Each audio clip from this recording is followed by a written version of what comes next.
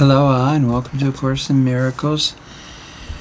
We are on lesson 116 of the workbook, the morning and evening reviews of lessons 101, God's will for me is perfect happiness, and 102, I share God's will for happiness for me.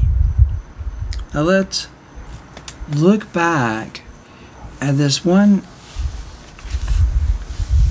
sentence or a few sentences, paragraph that start out this lesson 101. Today we will continue with the theme of happiness. And this is a key idea in understanding what salvation means.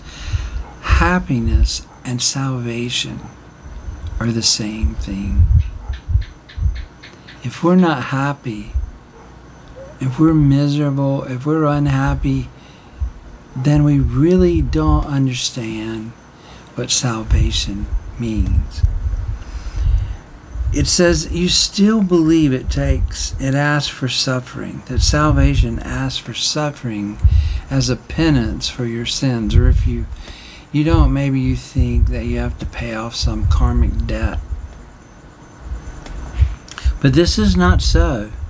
But you must think it so while you still believe that sin is real and that God's Son can sin. Because if sin is real, then punishment is just and cannot be escaped. And salvation thus cannot be purchased but through suffering. And this is a, a concept that has been with us as long as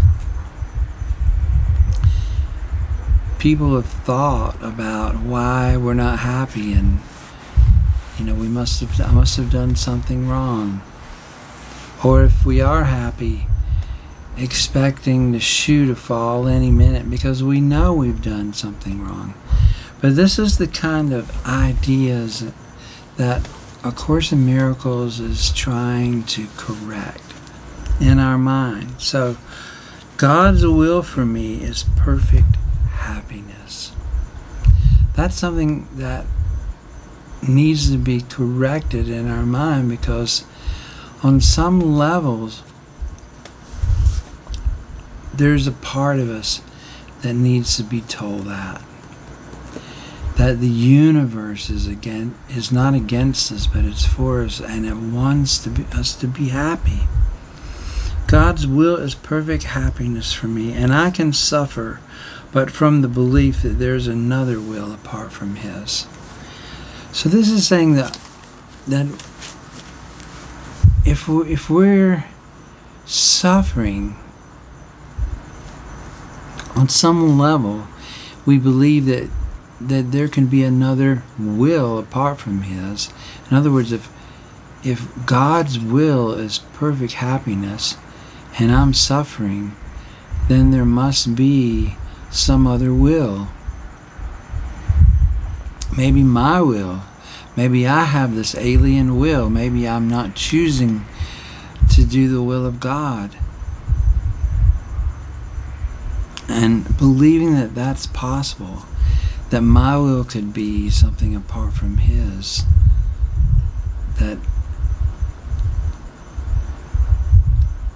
that our wills aren't one is a source of our unhappiness. But our happiness is the biggest witness that we have in our whole life for um,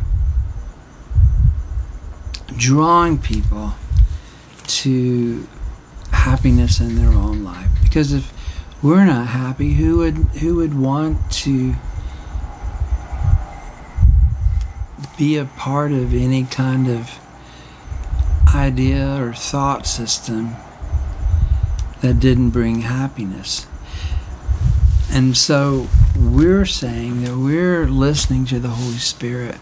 And the Holy Spirit, if I follow the Holy Spirit, then it will lead to happiness. It will lead to salvation, which is happiness.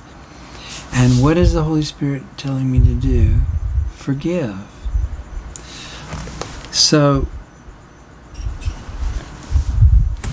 Believing that there can be another will, believing that there can be sin, is one of the core beliefs that we're looking at here in our own lives. That we, we believe that we can actually have a will that's different from God's will. That that's actually even possible in reality. Only in dreams, only in illusions could that be possible. And number two, the evening review, I share God's will for happiness for me. So we're making that choice in this statement to share God's will for happiness for me. I share my Father's will for me, His Son. What He has given me is all I want. What He has given me is all there is. So you can look at this and you can say, all right, well, I have another will and I need to somehow change it and choose God's will for me. But I don't think that's where the Course is going with this statement. I think where the Course is going here is that our true will has never been different our true self, the will of our real self with a capital S, the Son of God, has the same will as its Father. Or I, my true self, has the same will of my Father. And realizing that, I think, is where the Course is taking us. Not saying that you have an you have a you're against God's will and that's why you're happy. No, I think it's saying that we it's ridiculous to believe that we could possibly have another will, that anything could be another will than God's will. And that we realize or we're reminding ourselves the truth that I share my Father's will for me, His Son. What He has given me, that's really what all I want. And if you think about it, what do you want?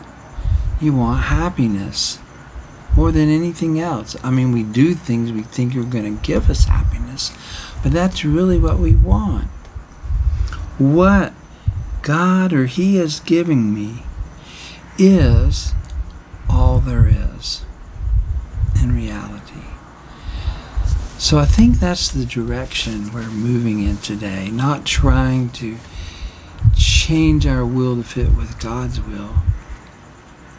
That's not how I see it. I see it more that we're realizing that we're not an ego that's a separate will, separate from our Father, but that our true self has one will with the Father, and that's our true will. The Father's will for us is happiness, and our will is happiness. And we're realizing that, and that suffering is not God's will, never has been God's will, and will. It's useless. It doesn't get you anything.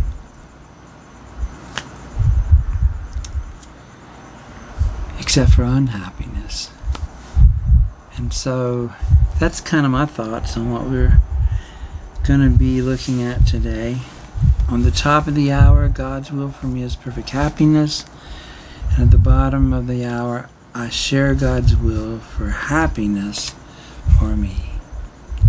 So if you get any insights, you know, uh, agree, disagree, whatever, feel free to share it in the comments because I welcome your thoughts and I welcome us doing this together. So thank you so much and have a great day. Aloha, mahalo, and I'll see you tomorrow.